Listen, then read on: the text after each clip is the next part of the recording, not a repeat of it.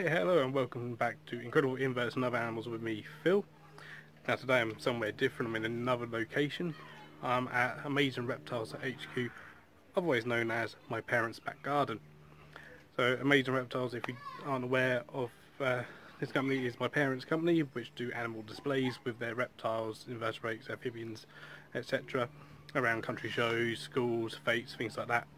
So now obviously this year uh, kind of haven't done really any displays um, at all really. Um, I do help them out with those when I can and when I'm not working at the zoo. Now um, I also uh, go around to pretty much all of the uh, reptile and the invert shows up and down the country uh, selling toys and gifts. So if you've been to any of those shows and you've seen the, the toy stand uh, that's my parents stand Amazing Reptiles and I'll put links uh, down below uh, to the Amazing Reptiles Facebook page.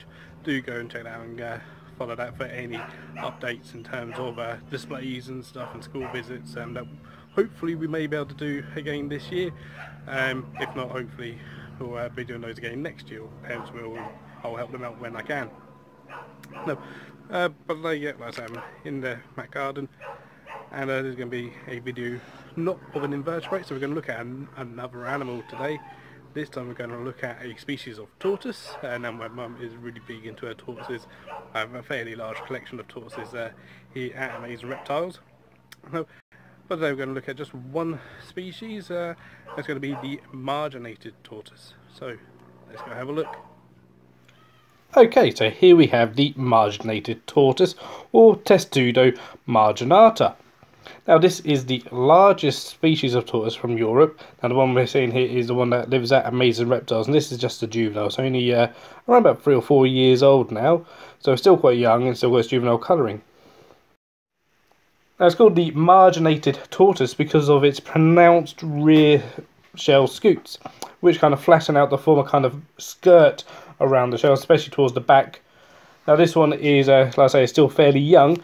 It's just starting to develop that is more pronounced within older and adult tortoises of the species.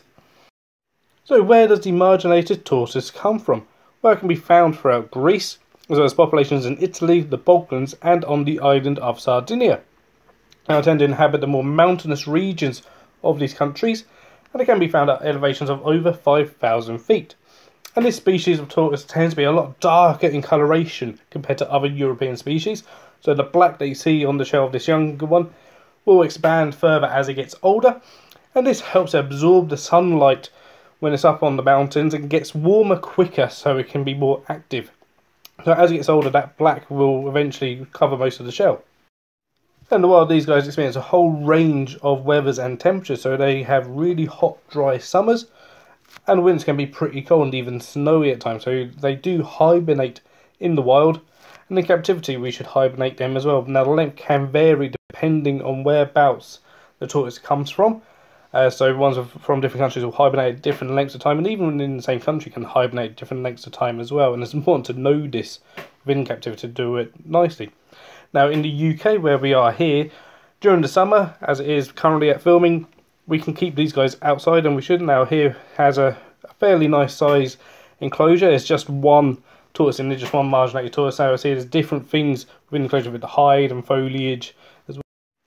And it's important to have all these various hides and foliage and things that they can sort of hide in and natural hides so it means that they can escape the sun if they want to. They shouldn't just be outside in the full sun all the time.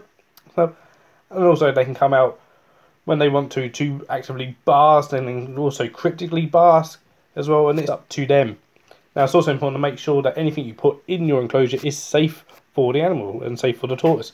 So any foliage that goes into the enclosure needs to be able to be eaten. Now there can be things that they perhaps don't like to eat which great they'll hopefully leave it alone. But also put things in there that they can eat and want to eat. So actually seed it up with various weeds as well as find some various garden plants from the garden centre that can be eaten by tortoises. And so in this way you can create a nice looking enclosure for them that they will enjoy. Now tortoises can live a very long time.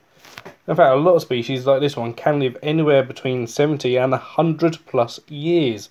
And in captivity we need to make sure that they are nice and healthy and that we grow them on slowly so that their shell can keep a nice smooth sort of appearance to it. It doesn't get bumpy with pyramiding and or any other kind of issues.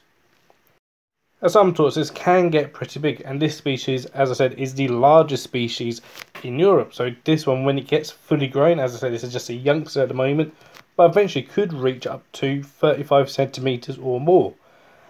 Now we need to make sure that obviously you've got a big enough enclosure for that.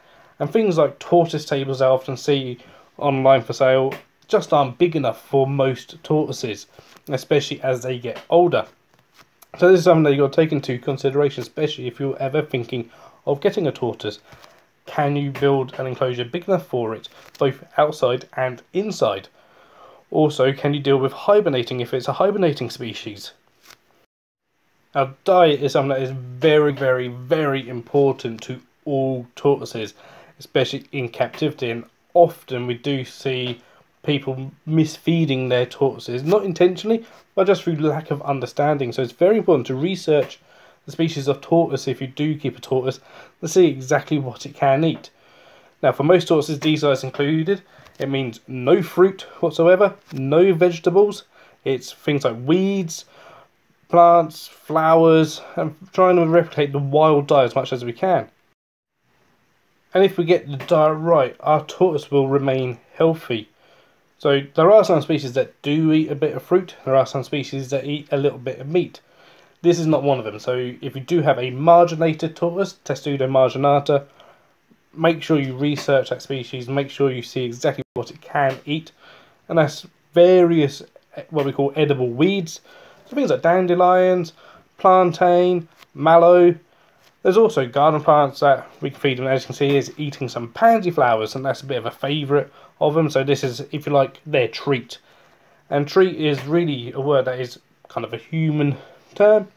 So, so we've got to perhaps rethink. So a lot of people sometimes say, oh, it has an apple as a treat, or it has some grapes as a treat. These are no good for pretty much any tortoise. So, so we've got to rethink what we think about when we think of treats. So think of really healthy treats like certain flowers. So, as in this case, pansies. There's also violas, um, hibiscus as well is a great one that they absolutely love. So, and see what you can get. Check around for various tortoise groups. There's lots of tortoise groups out there on uh, on Facebook and other social media. They will help you out as much as they can, as well as other organisations. Now you can see this one absolutely loves its pansy flowers. It soon polished those off. So as well as other flowers and other various leafy weeds and stuff that we uh, give it to eat as part of a nice wide diet of what we call a high fiber, low protein diet, which is essential for most species of tortoise.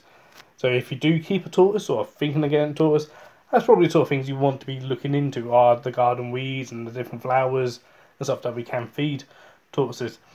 Now if you're unsure of what feed stuffs you can feed to them, there's various places you can go. I'll put a link in the description to the tortoise table website which has a plant database. Um, I use it myself absolutely fantastic, which has a, uh, a traffic light system so you can tell whether a plant is safe or not to feed to your tortoise.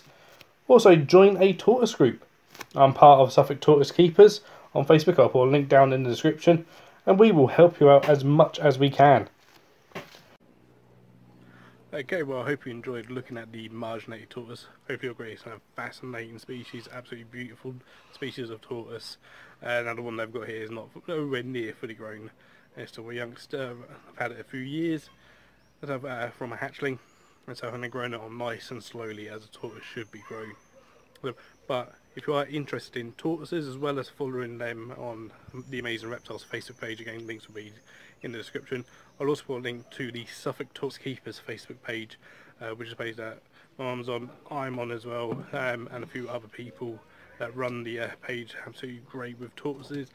Any tortoise advice, go there for it. We'll advise you as best as we can with regards to tortoises.